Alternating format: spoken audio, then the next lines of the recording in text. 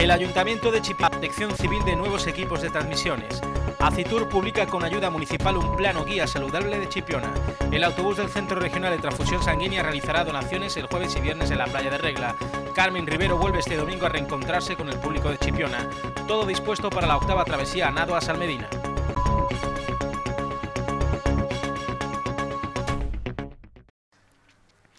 Con el objetivo de mejorar los medios de la agrupación local de protección civil en su labor de protección a las personas y los bienes en situaciones de emergencia y la prestación de servicios de socorrismo en todo tipo de eventos y en esta época en lugares como las playas, el Ayuntamiento de Chipiona le ha hecho entrega la pasada semana de 10 transmisores portátiles y otras tantas fundas impermeables.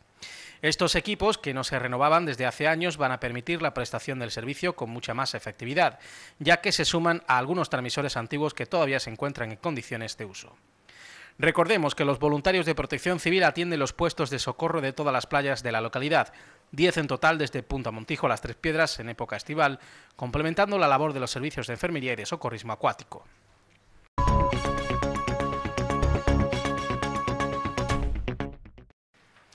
Acitur, la entidad que agrupa a los comercios y empresas de Chipiona, ha lanzado un plano guía saludable de la localidad que localiza empresas o lugares donde se puede acceder a productos o servicios que tienen como referentes la marca Chipiona Balneario Natural. Entre los establecimientos incluidos se encuentran 13 bares y restaurantes que cuentan en su carta con platos preparados para personas que padecen alergias a determinados alimentos. Estos son una parte de los que participaron en los cursos sobre alérgenos promovidos por Acitur. El Ayuntamiento de Chipiona colabora con la iniciativa pagando parte de los costes de la publicación y distribuyendo 15.000 planos, la mitad de los que se han imprimido. Las personas interesadas pueden obtenerlos, entre otros lugares, en hoteles y hostales, así como en la oficina de turismo y el punto de información de Acitur en la Plaza de Bastos. La guía también incluye los teléfonos de contacto para acceder a las actividades culturales, deportivas o divulgativas que se ofertan en la localidad.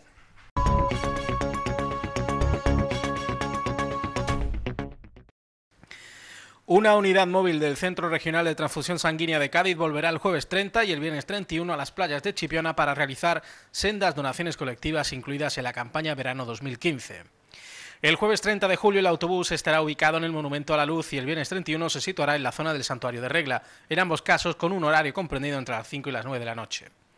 El Centro Regional de Transfusión Sanguínea estima que para cubrir las necesidades de sangre de los hospitales hacen falta cada día 180 donaciones, por lo que en sus convocatorias anima a aquellos que habitualmente donan sangre a que acudan acompañados de otra persona que no sea donante, de forma que se conviertan en una especie de promotores de esta actividad solidaria.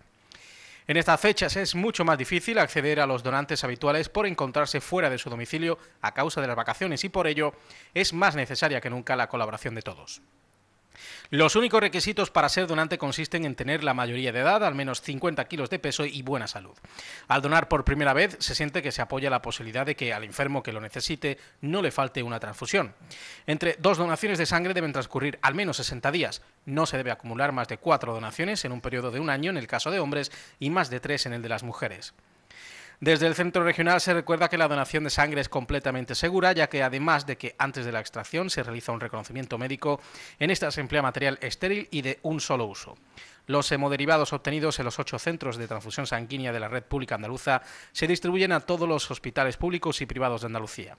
Toda la red funciona como un único centro, de manera que la coordinación existente y los niveles de suficiencia alcanzados permiten que los hemoderivados estén allí donde las necesidades lo requieran.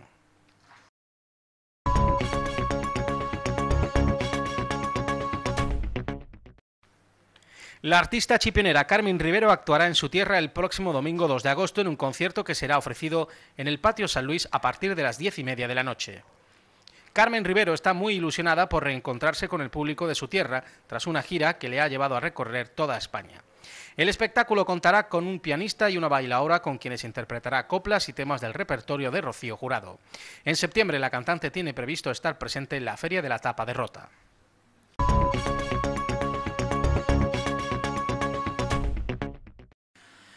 La octava edición de una de las referencias veraniegas del deporte local, la Travesía Nados Almedina, tendrá lugar el sábado 8 de agosto.